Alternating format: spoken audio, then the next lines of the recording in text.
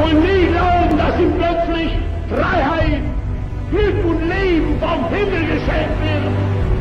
Alles wurzelt nur im eigenen Willen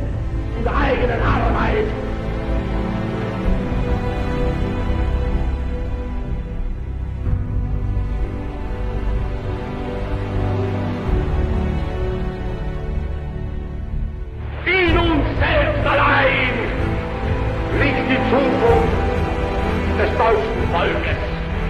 Wenn wir selbst dieses deutsche Volk emporführen durch eigene Arbeit, durch eigenen Fleiß, eigene Entschlossenheit, eigenen Trotz, eigene Beharrlichkeit, dann werden wir wieder emporsteigen, genau wie die Väter einst auch Deutschland nicht gestellt erhielten, sondern selbst nicht schaffen mussten. Die große